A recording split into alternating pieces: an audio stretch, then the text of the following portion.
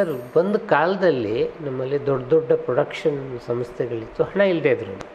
ಪಂತ್ಲು ಅಂತವರು ಆರಾರು ತಿಂಗಳು ಕೂತು ಕತೆ ಮಾಡಿದ ಸಂ ಸಂದರ್ಭಗಳೆಲ್ಲ ಇತ್ತು. ಮೂರು ನಾಲ್ಕು ಗಾಂಧಿನಗರದಲ್ಲಿ ಕೆಲವು ಪ್ರೊಡಕ್ಷನ್ ಹೌಸಸ್ ಇತ್ತು ಅದು ಗಾಂಧಿನಗರಕ್ಕೆ ಸುತ್ತ ಹಾಕಿದ್ರೆ ಇಂಥ ಕಂಪನಿ ಈಶ್ವರಿ ಕಂಬೈನ್ಸ್ ಅಂತ ಅಲ್ಲೊಂದು ಆಫೀಸ್ ವಜ್ರೇಶ್ವರಿಂದ ಒಂದು ಆಫೀಸ್ ಅಂತಿರೋದು ಈಗ ಸಿನಿಮಾ ಏನಾಗಿದೆ ಭಾಳ ಸುಲಭದ ಕತೆ ಆಗಿದೆ. ಸಿನಿಮಾ ಮಾಡುವಾಗ ಯಾವುದೋ ಒಂದು ಮನೆ ಬಾಡಿಗೆ ತೊಗೊಳ್ತಾರೆ. ನಾಳೆ ಸಿನಿಮಾ ಆದಮೇಲೆ ಅಲ್ಲಿ ಪ್ರೊಡ್ಯೂಸರು ಪತ್ತೆ ಇರಲ್ಲ ಡೈರೆಕ್ಟ್ರು ಪತ್ತೆ ಇರಲ್ಲ. ಅಂದರೆ ಆ ಜವಾಬ್ದಾರಿ ಇವತ್ತು ಮಾಯ ಆಗ್ತಾ ಇದೆಯಲ್ಲ ಏನು ಹೇಳ್ತೀರಾ ಸರ್ ಇದು ಸ್ವಯಂಕೃತ ಅಪರಾಧ ಸರ್. ಏನು ಮಾಡ್ತಾ ಇದ್ದಾರೆ ಅಂತಂದರೆ ಎಲ್ರಿಗೂ ಈಸಿ ಮನಿ ಅನ್ನೋದು ಒಂದು ಬಂದ್ಬಿಟ್ಟಿದೆ.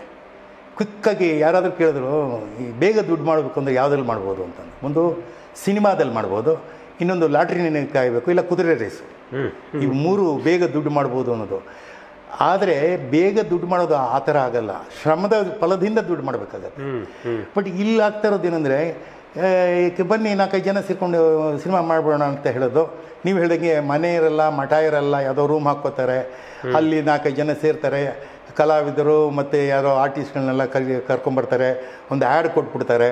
ಒಂದು ಎರಡು ದಿವಸ ಕ್ಯಾಮ್ರಾ ಇಟ್ಕೊಂಡು ಶೂಟ್ ಮಾಡಿಬಿಟ್ಟು ಎಷ್ಟು ಜನನ ಏಮರ್ಸ್ಬೋದು ಅಷ್ಟು ಜನ ಏಮರ್ಸ್ಬಿಟ್ಟು ಓಡೋಗ್ತಾರೆ. ಅದಕ್ಕೆ ಉದಾಹರಣೆಗೆ ನಾನು ಚೇಂಬರಲ್ಲಿದ್ದೀನಿ ಚೇಂಬರ್ಲಿ ನಿರ್ಮಾಪಕರದ ಒಂದು ವಲಯದ ಲಿಸ್ಟ್ಗಳಿದೆ.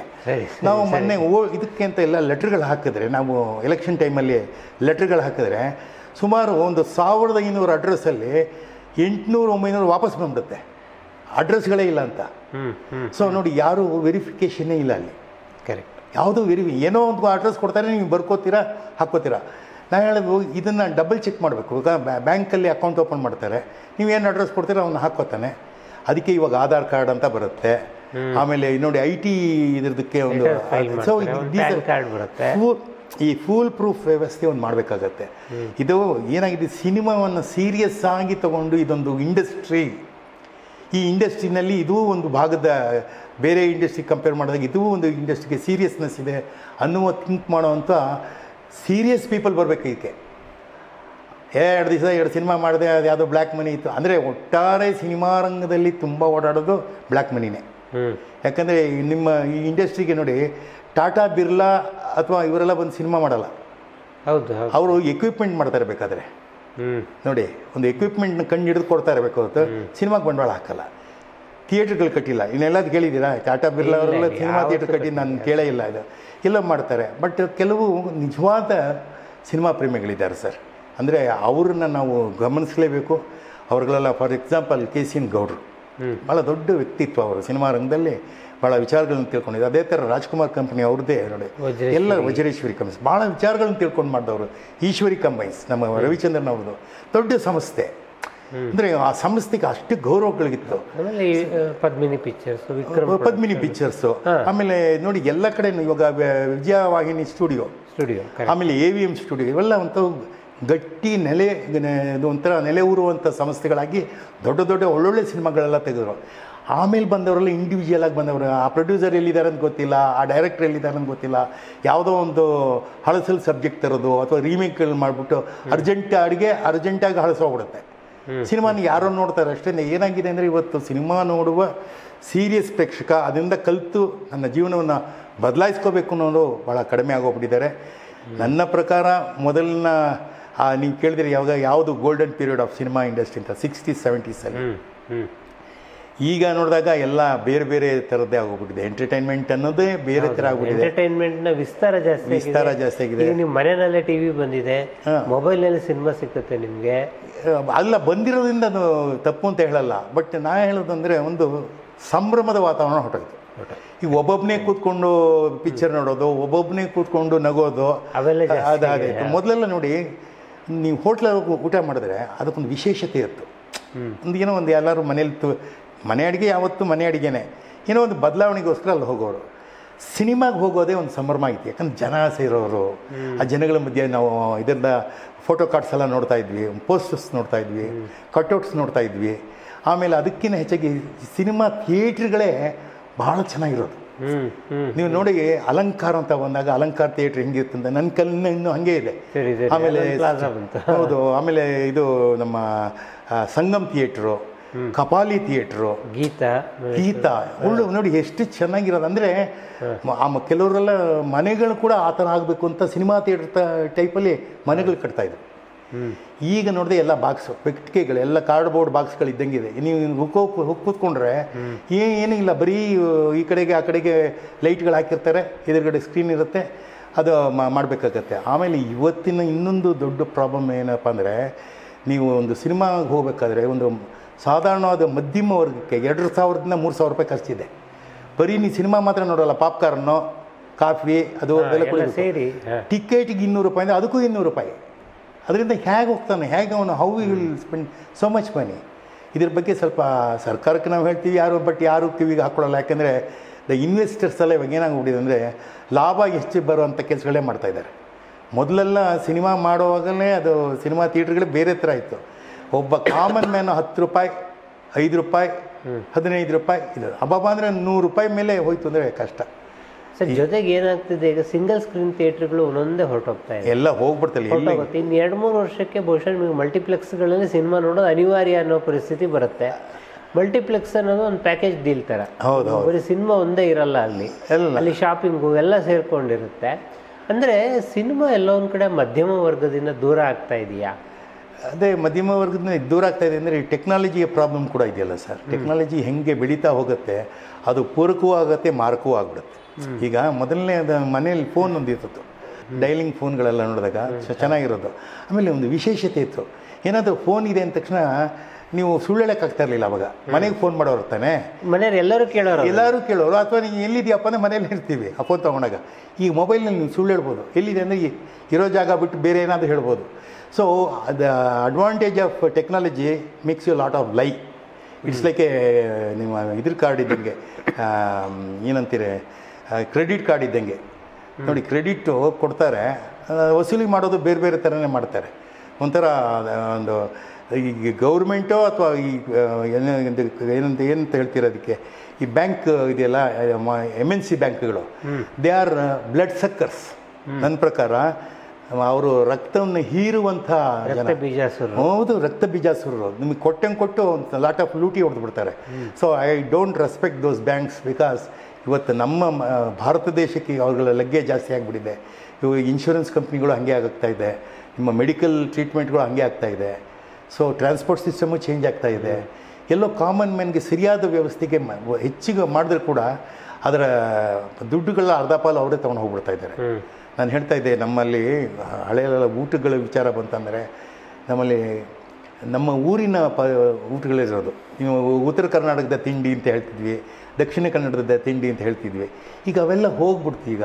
ಪೆಪ್ಸಿ ಕೊಕೋ ಕೋಲಾ ಪಿಜ್ಜಾ ಇಂಥದ್ದು ಬಂದು ನಮ್ದೆಲ್ಲ ಅದು. ನಮ್ಮ ಆಹಾರ ಅಲ್ಲ ಅದನ್ನು. ನಾನು ಎಷ್ಟೋ ಸಲ ನಮ್ಮ ಜ ಇದ್ರ ಮೇಲೆ ಎಲ್ಲೇ ವೇದಿಕೆ ಮೇಲೆ ಇದನ್ನು ಹೇಳ್ತಾ ಇದ್ದೆ. ಡೀಸೆಲ್ ಪ್ಯಾಂಟ್ ಪೆಟ್ರೋಲ್ ಶರ್ಟ್ ಅಂತ. ಎಷ್ಟು ನಾಲ್ಕು ನಾಲ್ಕು ಸಾವಿರದ ಒಂಬೈನೂರ ತೊಂಬತ್ತೊಂಬತ್ತು ರೂಪಾಯಿ. ಅಂತ ಹಾಕಿರ್ತಾನೆ. ನೀವು ನೋಡಿದ್ರೆ ಇಲ್ಲೊಂದು ಹರಿದೋಗಿರುತ್ತೆ ಅಲ್ಲೊಂದು ಹರಿದೋಗಿರುತ್ತೆ ಕೈ ಮೊಣಕೈ ಎಲ್ಲ ಇಲ್ಲಿ ಹರಿದೋಗಿರುತ್ತೆ. ಎಲ್ಲಿ ನಮ್ಮ ನಮ್ಮಲ್ಲಿ ನೋಡಿ ಉಡುಗೆ ತೊಡುಗೆಗಳು ಯಾವ ಮಟ್ಟದಲ್ಲಿ ಎಷ್ಟು ಚೆನ್ನಾಗಿತ್ತು ಅಂದರೆ ಅದರಲ್ಲಿ ವಯಸ್ಸನ್ನು ಪ್ರತಿಬಿಂಬಿಸ್ತಾ ಇತ್ತು. ಮೋಟ್ಲಂಗ ಚಿಕ್ಕ ವಯಸ್ಸಲ್ಲಿ ಫ್ರಾಕು. ಆಮೇಲೆ ಮ- ಮಧ್ಯ ಇದು ಅದೇನು ಹೇಳ್ತಾರೆ ವಯಸ್ಸು ಬಂದ ಹುಡುಗಿಂದರೆ ಲಂಗಾದಾವಣಿ ಅಂತ ಬರೋದು.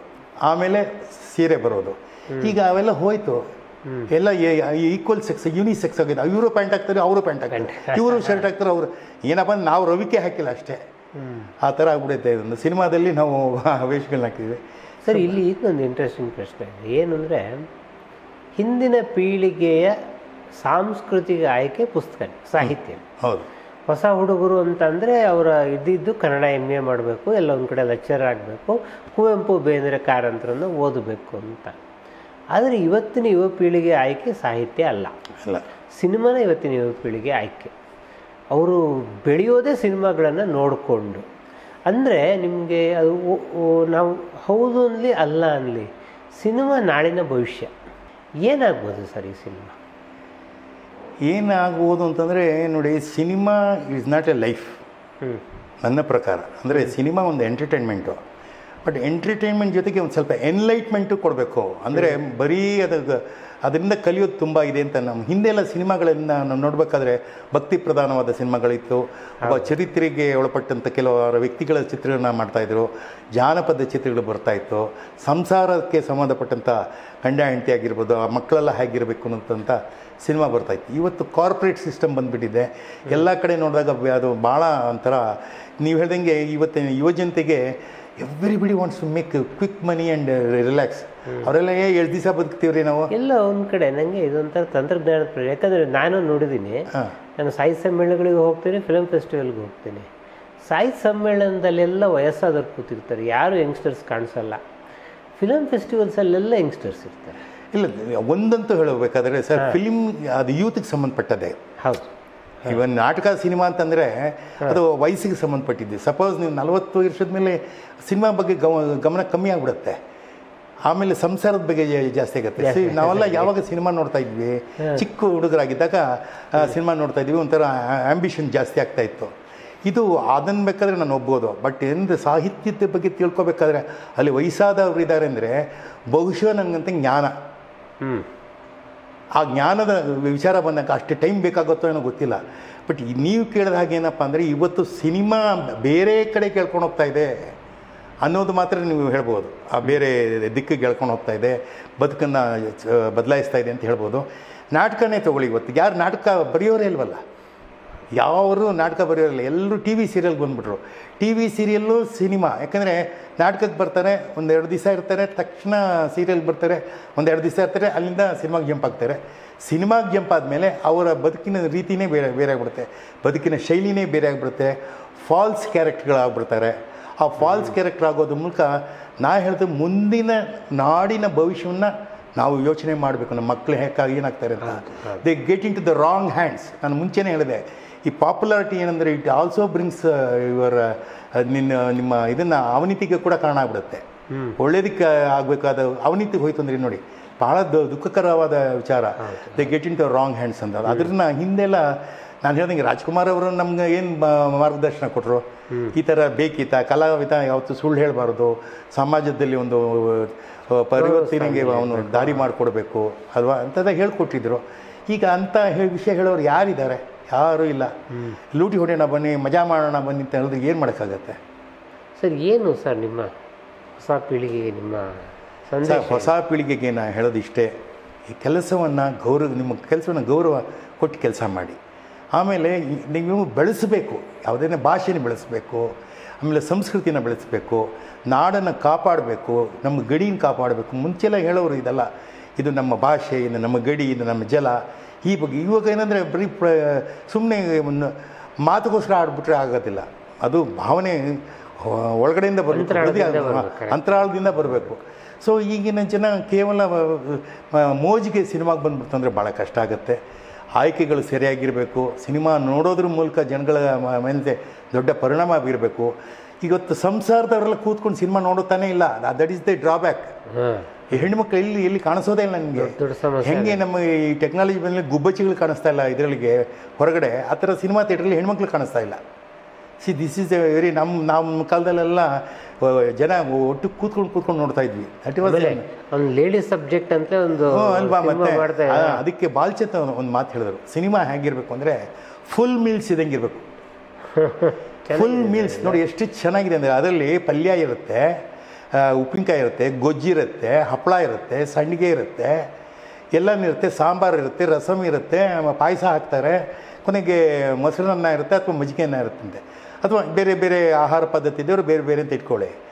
ಯಾಕೆಂದರೆ ಸಿನಿಮಾದಲ್ಲಿ ಅದಕ್ಕೆ ಹಾಸ್ಯ ಬೇಕು ವಿಲ್ಲನ್ ಬೇಕು ಆಮೇಲೆ ನಾಯಕ ಬೇಕು ನಾಯಕಿ ಬೇಕು ಇವೆಲ್ಲ ಸೇರಿ ಒಂಥರ ಹಬ್ಬದ ಸಂಭ್ರಮ ಬೇಕು ಅನ್ನೋ ಥರದಲ್ಲಿ ಮಾಡ್ತಾಯಿದ್ರು ದಟ್ ಈಸ್ ಫುಲ್ ಮೀಲ್ಸ್ ಈಗ ಫುಲ್ ಮೀಲ್ಸ್ ಎಲ್ಲ ಇದನ್ನ ಪಾ ಪಾರ್ಟ್ ಮೀಲ್ಸ್ಗಳಾಗ್ಬಿಟ್ಟಿದೆ ಆಮೇಲೆ ಎಲ್ಲ ಹೇಳೋಕ್ಕಾಗಲ್ಲ ಬಿಡಿ ಅದು ಹೇಳಿದ್ರೆ ಚೆನ್ನಾಗೂ ಇರಲ್ಲ ಆ ಥರ ಆಗ್ಬಿಟ್ಟಿದೆ.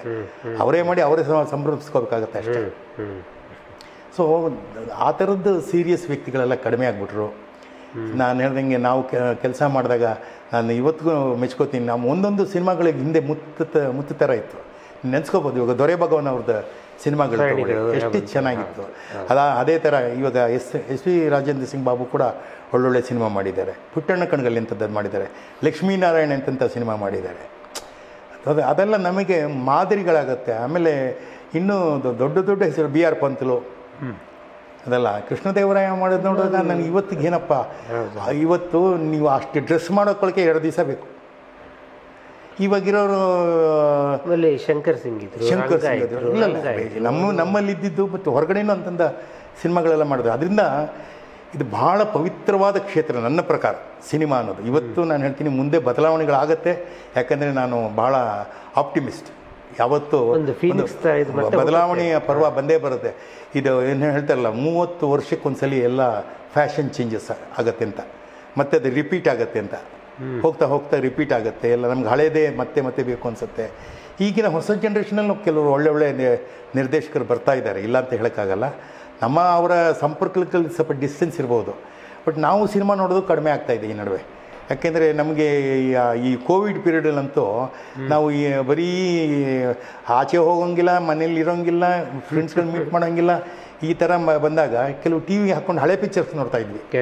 ಹೊಸದು ನೋಡೋಕೆ ಇಷ್ಟಪಡ್ತಾ ಇಲ್ಲ ಹಳೇದೇ ನಮಗೆ ಆನಂದ ಕೊಡ್ತಾ ಇತ್ತು. ಸೊ ನನಗನ್ಸುತ್ತೆ it all depends on the ಅವರವರ ಇಂಡಿವಿಜುವಾಲಿಟಿ ಯಾಕೆಂದ್ರೆ ನನಗೆ ನಾನು ಮಾಡಿದ್ದಿಷ್ಟ ನಮ್ಮ ಅಪ್ಪನಿಗೆ ಅವ್ರು ಮಾಡಿದ್ದಿಷ್ಟ ನನ್ನ ಮಗಳಿಗೆ ಅವಳು ಮಾಡೋದು ಇಷ್ಟ. ಹೌದು ಹೌದು. ಸೊ ಹಾಗಾಗ್ಬಿಡುತ್ತೆ ಚಿತ್ರರಂಗ ಕೂಡ ಅವ್ರವ್ರಿಗೆ ಅವ್ರು ಹೇಗೆ ತೊಗೊಂಡು ಹೋಗ್ತಾರೆ ಹಂಗಾಗ್ಬಿಡುತ್ತೆ. ಹೌದು ಒಂದು ಕಾಲದಲ್ಲಿ ಸೈಗಲ್ ಹಾಡುಗಳನ್ನು ಬಹಳ ಮೆಚ್ಚಿ ಕೇಳೋ ಜನ ಇದ್ರು. ಈಗ ಸೈಗಲ್ ಹಾಡು ಯಾರು ಕೇಳಲ್ಲ. ಆಮೇಲೆ ನನ್ನ ಮಗಳೇ ಹೇಳ್ತಾಳೆ ಅಪ್ಪ ನೀನು ಇಷ್ಟೆಲ್ಲ ಮಾಡಿದ್ಯಾ? ನೀನು ಎಲ್ಲ ಹಿಂಗೆ ಮಾಡು ಹಂಗೆ ಮಾಡು ಅಂತ ಹೇಳ್ತೇನೆ ನೀವು ನಿಮ್ಮಪ್ಪನ ಮಾತು ನೀನು ಕೇಳಿದ್ಯಪ್ಪ ಅಂತಂದರು ಇಲ್ಲಮ್ಮ ಕೇಳಿದ್ದೀನಮ್ಮ ನಮ್ಮ ಇಲ್ಲಪ್ಪ ನೀನು ನಿಮ್ಮ ಅಪ್ಪನ ಮಾತು ಕೇಳಿದ್ರೆ ಬಿಸ್ನೆಸ್ ಮಾಡಬೇಕಾಗಿತ್ತು. ನೀನು ಸಿನಿಮಾಗೆ ಬಂದೆ? ಅಂತಂದು ನಾನು ಹೇಳಿದೆ ಆಮೇಲೆ ದುಡ್ಡು ಕಾಸು ವಿಚಾರದಲ್ಲಿ ಹೇಳಿದ್ಲು. ನೀವೆಲ್ಲ ಯಾಕೆ ಕೂಡಿಟ್ಟು ಕೂಡಿಟ್ಟು ಕೂಡಿಟ್ಟು ನೋಡಿ ಯಾರೋ ಒಬ್ಬ ನನಗೆ ಮನೆಗೆ ಬಂದಾಗ ಹೇಳಿದ್ರು ಒಬ್ಬ ವ್ಯಕ್ತಿ ತನ್ನ ದುಡಿಮೆಯಲ್ಲಿ ಇಡೀ ಬದುಕಿನಲ್ಲಿ ಅವನು ತನ್ನ ಇದನ್ನು ಯಾವುದೇ ಒಂದು ವಿಚಾರಗಳನ್ನ ಬಳಸ್ಕೊಳ್ಳೋದು ಕೇವಲ ಇಪ್ಪತ್ತೈದರಿಂದ ಮೂವತ್ತು ಪರ್ಸೆಂಟ್. ಇನ್ನು ಎಪ್ಪತ್ತು ಪರ್ಸೆಂಟ್ ಬಿಟ್ಬಿಡ್ತಾನಂತೆ. ಅವನು ಆಸ್ತಿ ಮಾಡ್ಬೋದು ಏನೇ ಮಾಡ್ಬೋದು ವಿಚಾರಗಳು ತಿಳ್ಕೊಳ್ಬೋದು ಎಲ್ಲವನ್ನು ಮಾಡ್ತಾನೆ ಅವನು ಬಳಸ್ಕೊಳ್ಳೋದು ಮೂವತ್ತು ಪರ್ಸೆಂಟ್. ಇನ್ನು ಎಪ್ಪತ್ತು ಪರ್ಸೆಂಟ್ ವೇಸ್ಟ್ ಆಗುತ್ತೆ. ಅಂದರೆ ವೇಸ್ಟ್ ಅಂದರೆ ಬಿಟ್ಬಿಟ್ಟು ಹೋಗ್ತಾನೆ. ನಾವು ಇದಕ್ಕೆ ನೂರು ಪರ್ಸೆಂಟ್ ಕೆಲಸ ಮಾಡ್ತೀವಿ. ಅಂದರೆ ನೀವು ಕೇಳ್ಬೋದು ಬರೀ ಮೂವತ್ತು ಪರ್ಸೆಂಟ್ ಮಾಡ್ಕೊಂಡ್ರೆ ಅವಾಗ ಅದನ್ನು ಮಾಡ್ತಾನೆ ಮೂರು ಪರ್ಸೆಂಟ್ ಯೂಸ್ ಮಾಡ್ಕೋತಾನೆ. ಸೊ ಹಾಗಾಗಿ ನಾನು ಹೇಳೋದಂದರೆ ನಮಗೆ ಅಗತ್ಯಕ್ಕಿಂತ ಹಣ ಬೇಕಾಗಿಲ್ಲ. ಮತ್ತು ಹಾಸಿಗೆ ಇದ್ದಷ್ಟು ಕಾಲು ಚಾಚು. ಆ, ಆ, ಈ ಥರದ ಪ್ರವರ್ಬಲ ನಮ್ಗೆ ಕೇಳಿದ್ದೀವಿ ಹಾಗೆ ಮಾಡಿದ್ದೀವಿ ಎಲ್ಲಕ್ಕಿಂತ ಜನ ಅಥವಾ ಮನುಷ್ಯ ಅವನು ಮುಗ್ಧನಾಗಿ ಒಳ್ಳೆಯವನಾಗಿ ಸಮಾಜಮುಖಿಯಾಗಿ ಕೆಲಸ ಮಾಡಿದ್ರೆ ಅವನವನ ಕೆಲಸ ಚೆನ್ನಾಗಿ ಮಾಡ್ಕೊಂಡು ಹೋಗ್ತಂದರೆ ಚೆನ್ನಾಗಿರುತ್ತೆ. ಆಮೇಲೆ ಎಷ್ಟೋ ನಾವು ಹೇಳಿದ್ದೀವಿ ಕೆಲವರು ಚಿತ್ರರಂಗದಲ್ಲಿ ಇದ್ದಾಗ ಕೆಲವಾರು ನೋವುಗಳನ್ನು ಕೊಟ್ಟವರು ಉಂಟು ಅದನ್ನು ನೆನೆಸ್ಕೊಂಡಾಗ ಯಾಕೆ ಅವರು ಹಿಂಗೆ ಮಾಡಿದ್ರು? ಹಾಗೆ ಮಾಡಿದ ತಪ್ಪಲ್ವ ಅಂತ. ಆ ಸಂದರ್ಭದಲ್ಲಿ ನಾವು ಏನು ತಪ್ಪು ಮಾಡಿದ್ದೀವೋ ಗೊತ್ತಿಲ್ಲ. ಈಗ ಎಷ್ಟು ಜನಗಳನ್ನು ಮನಸ್ಸುಗಳು ನಮ್ಮಿಂದ ತೊಂದರೆ ಆಗಿರುತ್ತೆ ಅದರಿಂದ ಸೊ ಅದರಿಂದ ಆಯಿತು ಹೋಯಿತು ಅಷ್ಟೇ. Life goes on life goes on ನಮಗೆ